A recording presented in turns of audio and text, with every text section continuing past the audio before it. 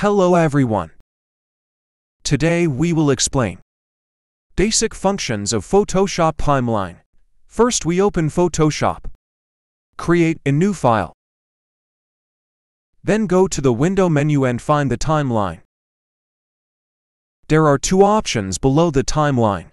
One is to create a frame animation. One is to create a video timeline. Frame animation is beyond the scope of our discussion.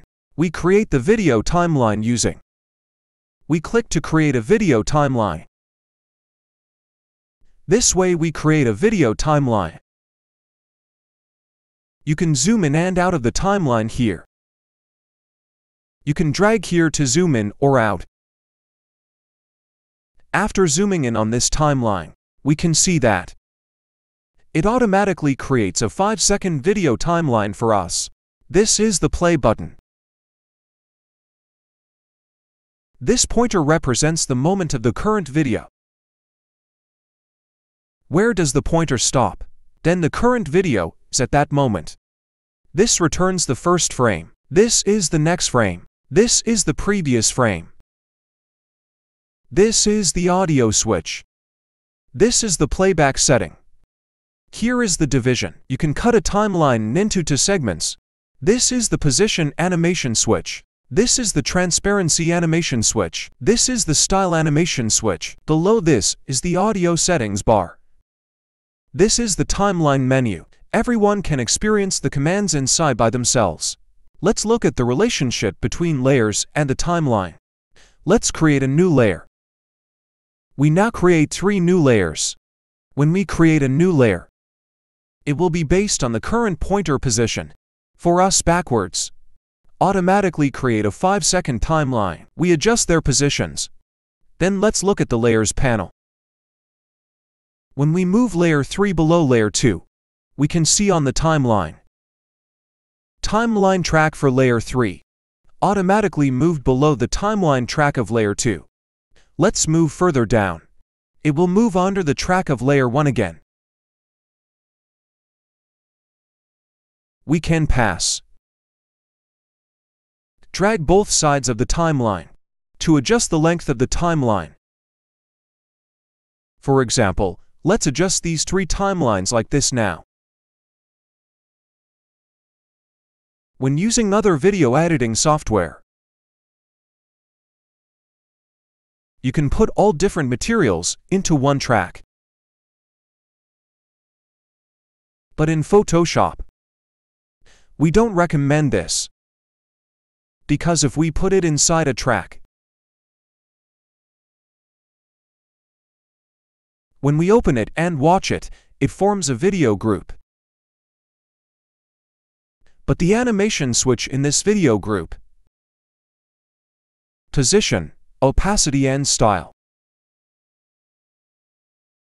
will only work on the original timeline of this layer. Does not work on timelines of other layers will not work on layer 1 and layer 2. So we recommend not to use this method as much as possible. We still have to give each timeline a separate track. This way we can adjust each track individually. Then we restore them. Now we are on layer 3. Make a position animation.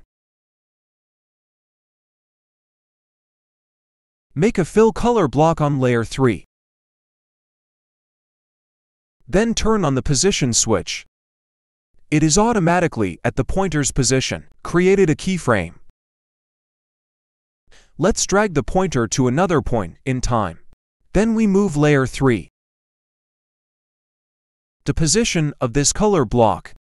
It automatically creates a keyframe at the pointer position. Repeat the same operation you can create multiple displacement animations. We drag the pointer back to the starting point. Let's look at layer 2. We are on layer 2. Also create a color block. Use another color. Then turn on the opacity switch. This way he automatically creates a keyframe. We set the opacity to 0 here on the layer.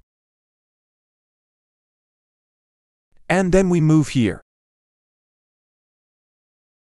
Set opacity to 100. Then repeat the operation just now.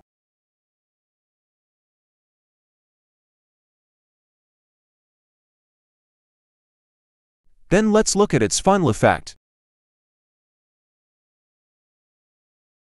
Let's open layer 1 again. Let's add another color block to layer 1. Then we turn on the style switch. It automatically creates a keyframe at the pointer position. We can delete this keyframe using the delete key. All keyframes can be deleted. You can delete it as soon as you select it. We now add a style to layer 1.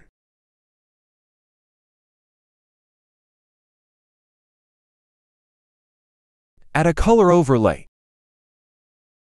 Add a yellow color to it. Then turn the style switch back on. Move here.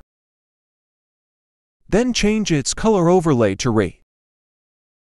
This way we get another keyframe. Move here. Choose another color for him. Move here again. Double-click on this logo. At last, add one more. This creates a color-changing animation. Let's play it.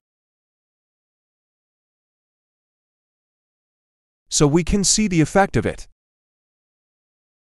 We can also hold down the CTRL key and select several keyframes. At the same time, select these three key keys at the same time. Right-click on one of them.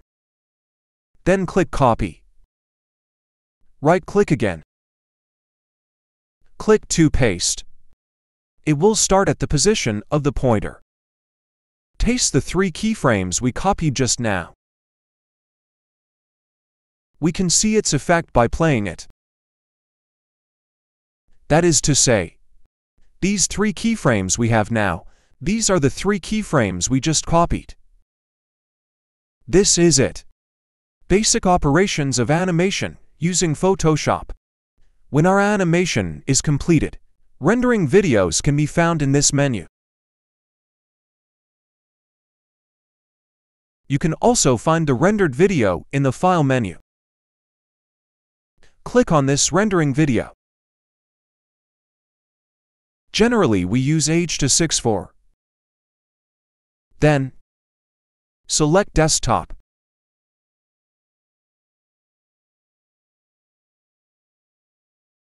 Let's play this video.